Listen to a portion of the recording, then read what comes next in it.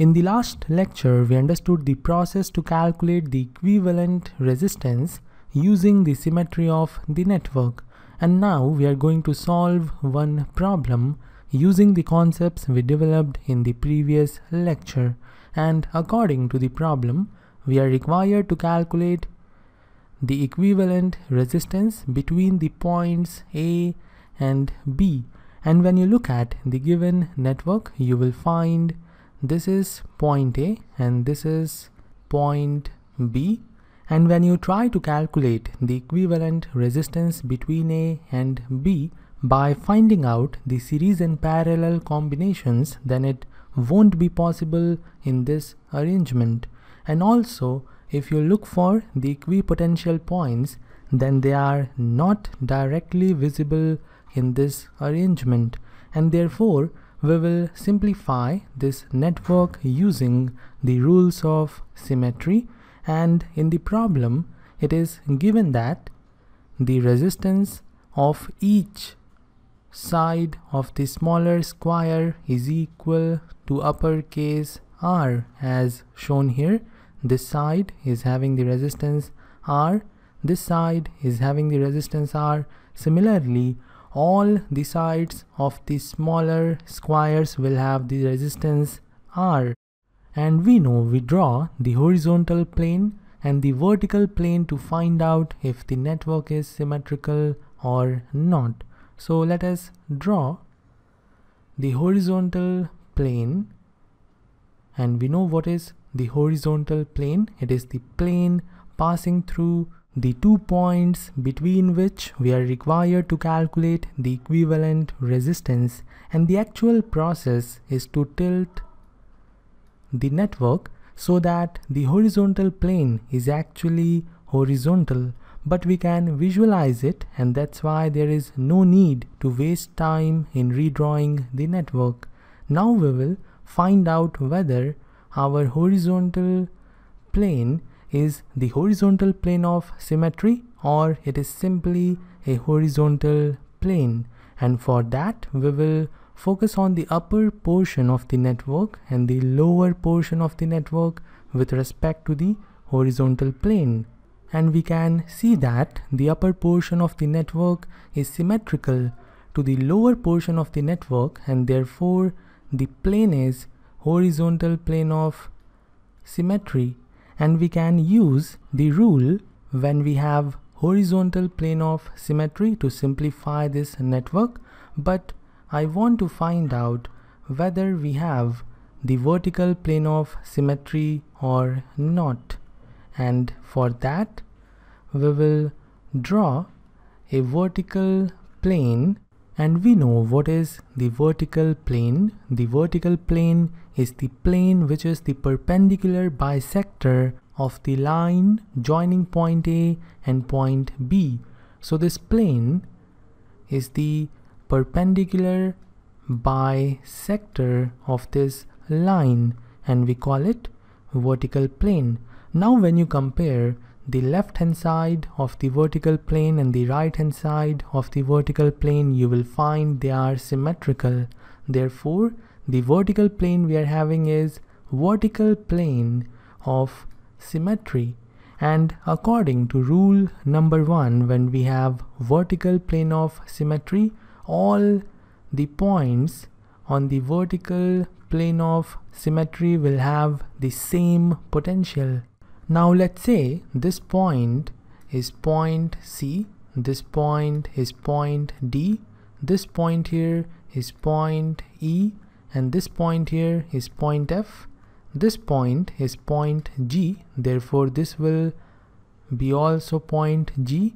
They will have the same potential and this point will also be point G. Now we will reconstruct our network.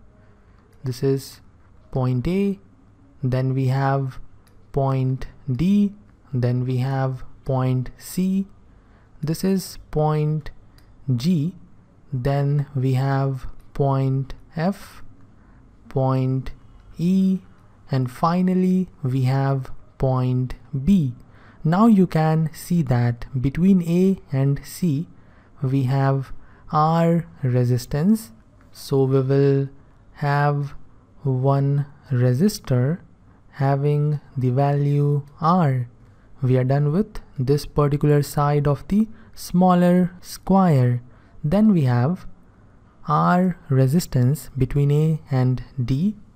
So between A and D we will make one resistor having the value R. We are done with this one as well. After this between C and G we have R resistance between C and G we have R resistance. Then between D and G we have R resistance. D and G we have R resistance. After this between C and G again we have R resistance. Between C and G we have R resistance. Then between G and D we have R resistance. Between G point and E point we have R resistance. Then again between G and E we have another R resistance. One more resistance between G and E having the value R.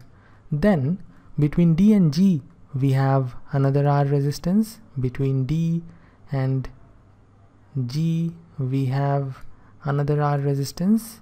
Following the same process when you complete the network you will find there are two resistors in parallel having the value R between G and F.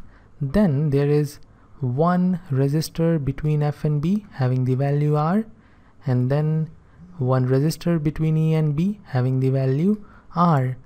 Now solve it and you will have the equivalent resistance equal to 3 over 2 R. So this is our answer.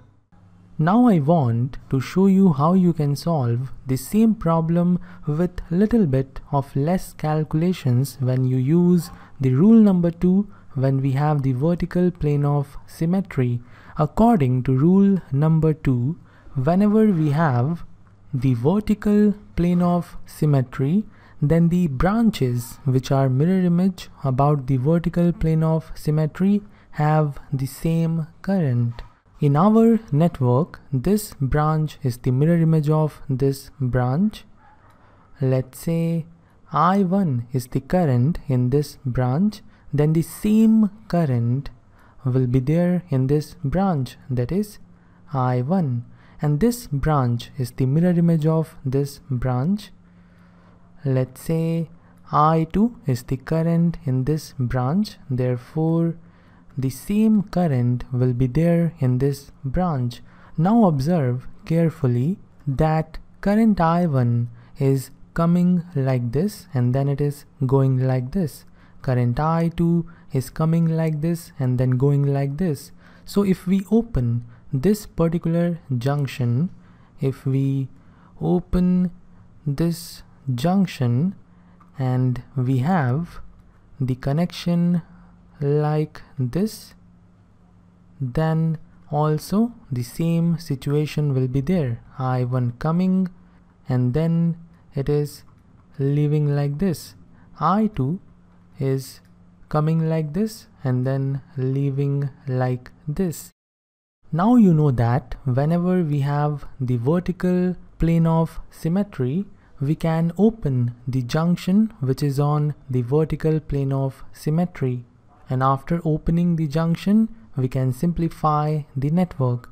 And here we have point A, then point B, and between point A and this point, that is point D we have R resistance then between point A and point C we have R resistance.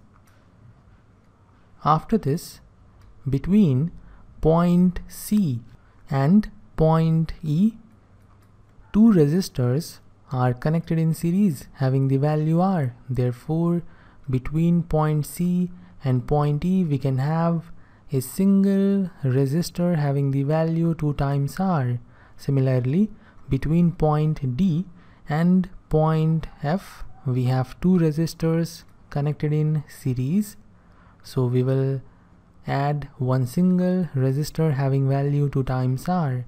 Then between point F and point B, we have one resistor having the value R. Between E and B, we have one resistor having the value R. And you can see that between D and F, we have two resistors connected in series having the value R. So between D and F, we have one resistor having the value 2 times R and between C and D again we have two resistors having the value R so we will connect single resistor having the value 2 times R. Now when you simplify this you will get the equivalent resistance is equal to 3 over 2R and compared to this network solving this network is simple. So I hope now you understand how to use the rules of symmetry to simplify the network and calculate the equivalent resistance. Now I will give you one homework problem and in this homework problem we are having this as the network and you are required to calculate RAB that is the equivalent resistance between point A and point B and each resistance is small r.